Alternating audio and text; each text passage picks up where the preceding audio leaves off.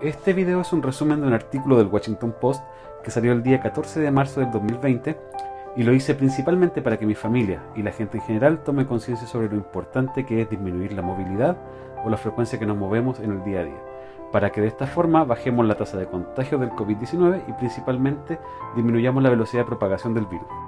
El artículo nos muestra una simulación de un pueblo con 200 habitantes, en los cuales existen tres tipos de personas, los sanos, los contagiados y los recuperados.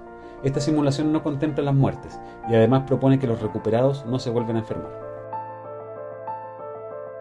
En el primer caso, todos los habitantes del pueblo se mueven libremente.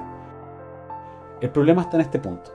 Una gran cantidad de enfermos que requerirán distintos tipos de atención al mismo tiempo. Este es el peor escenario y es el que hay que evitar a toda costa. No hay sistema de salud en el mundo que aguante este caso.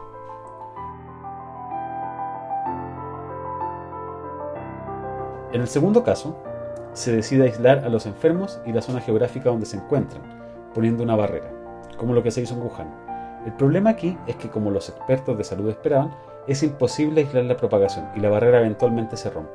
De todas formas, si se fijan, la propagación se ralentiza.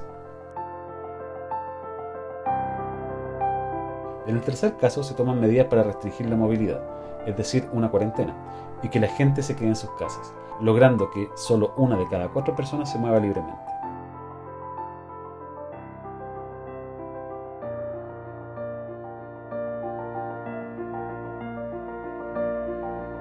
Y en el último caso se extreman las medidas y se logra que la gente efectivamente se quede en sus casas, logrando que solo una de cada ocho personas se movilice.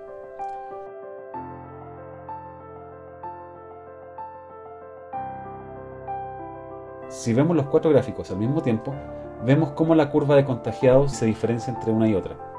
En los últimos casos se ralentiza, y esto permitirá que no lleguemos al caso de tener a un gran porcentaje de la población enferma al mismo tiempo, demandando atenciones que ningún sistema de salud podrá satisfacer. Por eso, el llamado es a quedarse en casa todo lo que sea posible, salir solo lo necesario, aunque estemos sanos.